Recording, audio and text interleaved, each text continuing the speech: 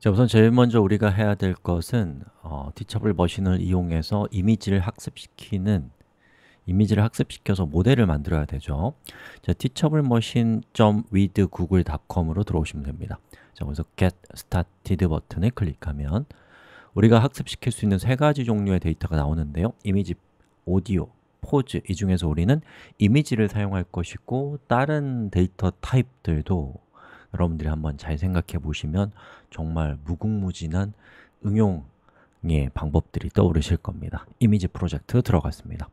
자, 그럼 여기에다가 저는 두 가지의 그 이름을 적을 건데요. 저런 걸 라벨이라고 하죠. 우선 첫 번째, 주간 두 번째, 야간 이렇게 하겠습니다.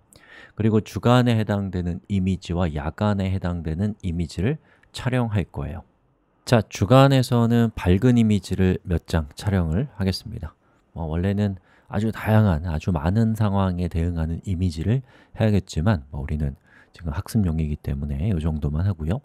자, 근데 야간에 해당되는 이미지를 촬영할 건데 저는 일부러 어두운 환경을 만들기 위해서 이렇게 손가락으로 이렇게 가려서도 해보고 더 강하게도 가리고 조금 완전히 시커멓게도 만들어서 이렇게 어두운 이미지를 부여를 했습니다. 자 그러면 주간, 야간에 해당되는 이미지를 각각 우리가 매칭을 한 거죠. 말하자면 문제집을 만든 거고요. 이제 이 문제를 풀어 라고 해서 이 학습을 시키면 모델이 만들어지게 됩니다. 자, Train Model을 클릭합니다.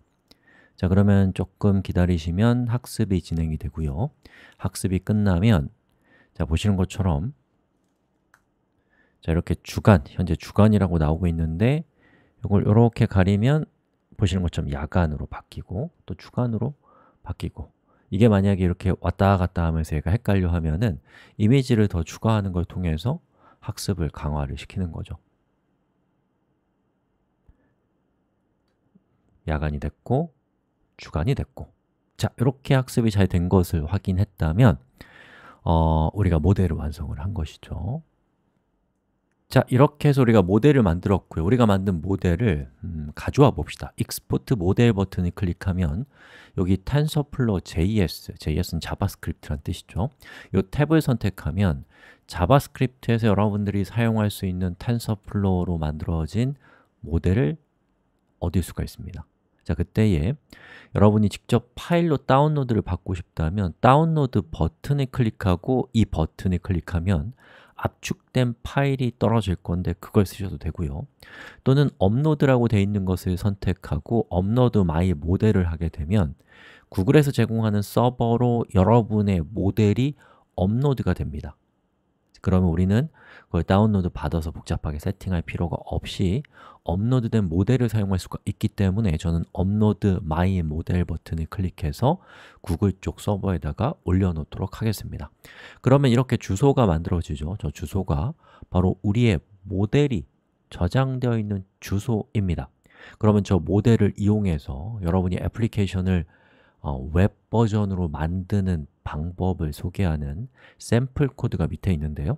저 코드를 카피해서 우리 새로운 HTML 파일을 만들어서 거기다가 장착해서 걔를 동작시켜 보도록 합시다. 여기까지 하겠습니다